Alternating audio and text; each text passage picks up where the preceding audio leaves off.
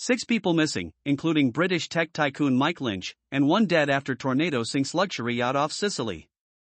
Rescuers were on Monday searching for six people, including British tech tycoon Mike Lynch, who went missing after a luxury yacht was hit by a tornado and sank off the coast of Sicily, killing one of the 22 people on board. The vessel was hit by the tornado at around 5 a.m. Monday, according to a spokesperson for Italy's Coast Guard. The yacht was anchored about a half a mile from the port of Porticello on the Mediterranean island. Four Britons and two Americans are among those missing, the spokesperson SAS source told CNN that Lynch, the founder of software giant Autonomy, was a passenger on the yacht. The source spoke to CNN on the condition of anonymity, as they were not authorized to speak to the media. Fifteen people were rescued, including Lynch's wife Angela Bacares, and one child was airlifted to the Children's Hospital in Palermo. Eight people were hospitalized in total, according to the mayor's office.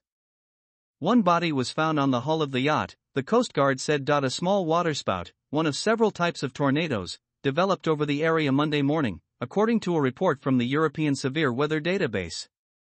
Other strong storms across Sicily brought torrential rainfall late Sunday, dumping more than 4 inches 100 millimeters of rain in less than 4 hours in Brolo, east of Palermo. The weather forecast had warned of potential strong winds, with storms across the entire southern region of Italy Sunday, the Coast Guard spokesperson added.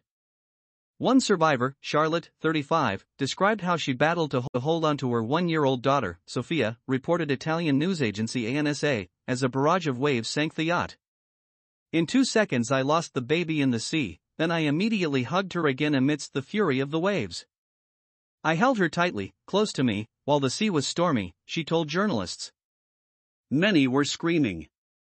The captain is among the survivors, the spokesperson for Italy's Coast Guard said.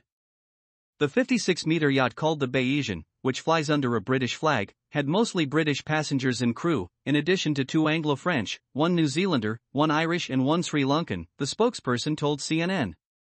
The Italian fire brigade said its divers had reached the yacht's hull 49 meters, 160 feet, below sea level, according to a press statement. The brigade also dispatched helicopters to bolster the search operation. The captain of a nearby boat said he turned on his engine to avoid crashing into the Bayesian, Reuters reported, as fierce gales swept the area. This morning we got this strong gust and we had to start the engine to keep the ship in an angled position, he told reporters on Monday. After the storm was over, we noticed that the ship behind us was gone.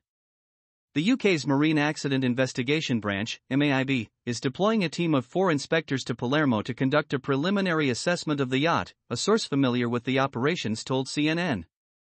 The source, who spoke on the condition of anonymity, did not say when the team is expected to arrive in Sicily, British tycoon among those missing. Lynch, the British entrepreneur missing from the yacht, had been plagued by legal woes since 2011, when he sold his company to tech firm Hewlett Packard, HP, for $11 billion. In June, he was acquitted of fraud by a jury in San Francisco after prosecutors accused him of trying to inflate autonomy's revenue in the latest chapter of the legal saga. He turned groundbreaking research at Cambridge University into the foundation of autonomy, which became Britain's biggest software company and a member of the blue chip FTSE 100 index, Lynch was lauded by academics and scientists and asked to advise the British government on technology and innovation. Ownership records held by Maritime Information Service Equasis show that the yacht is owned by the Isle of Man registered Revtom Limited Company. Revtom Limited's latest annual return from April lists Bacares as its owner.